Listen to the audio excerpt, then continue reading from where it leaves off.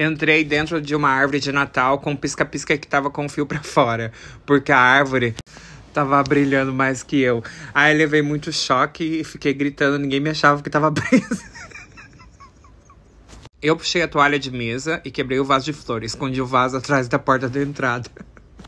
Quando ela entrou e fechou a porta, ela viu o vaso e eu achei que tinha escondido.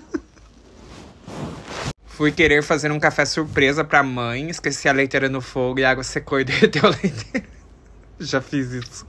Eu furava a lata de leite condensado com um prego e colava o preço em cima. Ela nunca descobriu.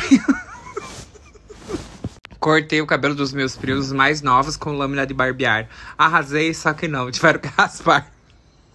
Sabe a fonte com água que sai da estufa do Jardim Botânico de Curitiba? Então caí lá dentro.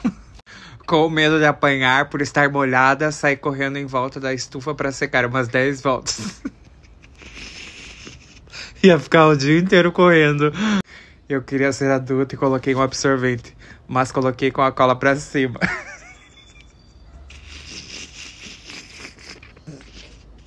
Uma vez achei uma gilete no banheiro, não sabia para o que era usado. Passei no braço, não aconteceu nada. Fui lá e passei na língua.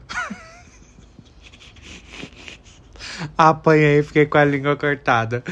Minha tia, quando voltar, quero essa casa brilhando. Joguei glitter pela casa toda.